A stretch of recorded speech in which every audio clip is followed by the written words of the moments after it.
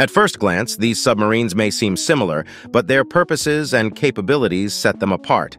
An attack submarine, also known as a hunter-killer submarine, is designed for one primary mission, hunting down and engaging enemy vessels. It's like the stealthy predator of the ocean. On the other hand, we have the Ballistic Missile Submarine, or SSBN.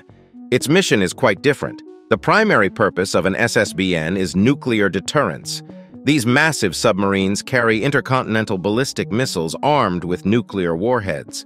Ballistic missile submarines are larger than attack submarines to accommodate their strategic weaponry.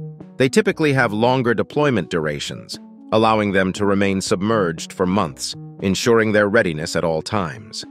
Both ballistic missile submarines and attack submarines play critical roles in ensuring the security and defense of nations.